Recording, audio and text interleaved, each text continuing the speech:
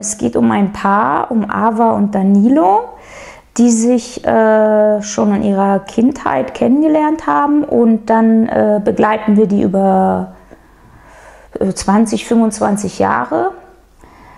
Die äh, heiraten irgendwann und haben auch Kinder und äh, diese Geschichte dieser Beziehung, äh, ich habe das ja Eheroman genannt, weil die dann auch irgendwann heiraten. Ähm, ist halt auch das Thema des Romans. Ähm, wahrscheinlich aus persönlichen Gründen, weil ich habe selber Beziehungen, gescheiterte Beziehungen hinter mir. Und äh, das war so mein Anliegen, zu erzählen, wie läuft das ab, wenn man sich eigentlich liebt, aber dann funktioniert das eben doch nicht. Was, was sind das für Mechanismen?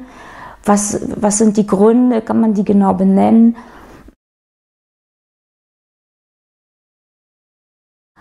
Heiraten, ich meine, im Grunde ist es ja fast egal, ob man heiratet. Ne? Es geht ja eher darum, dass man sich auf eine sehr enge Beziehung einlässt, also zusammenzieht, zusammen, meinetwegen wie in dem Fall eine Familie gründet, zusammen wirtschaftet, sich unterstützt. Also dieses sehr enge Zusammensein. Ob man dann heiratet oder nicht, äh, das ist ja fast nur noch so eine Proforma-Sache und äh, eine zusätzliche finanzielle Verpflichtung natürlich. Ähm, ich für mich, ich glaube, ich kann es mir nicht mehr vorstellen, aber man soll nie, nie sagen, ich war schon zweimal verheiratet.